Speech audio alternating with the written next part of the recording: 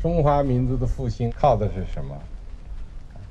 靠的是中华民族啊，有高度文明的精神素养，基础在于教育，使我们的教育机构更加合理，更适合我们第二个百年需要。